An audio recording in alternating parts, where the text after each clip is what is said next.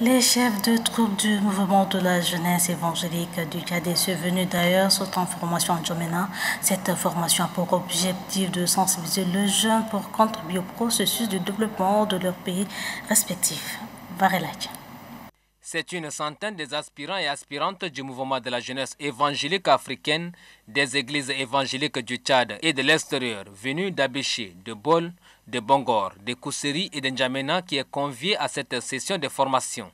À travers cette rencontre de 21 jours dans la capitale, ces chefs et cheptaines des troupes du mouvement de la GIA se familiariseront sur des diverses connaissances pouvant les aider à accomplir la volonté de Dieu afin de répondre de manière prompte aux besoins des églises. Nous vous invitons à participer activement à ces enseignements qui vous seront donnés notre intention n'est pas de vous donner un cours.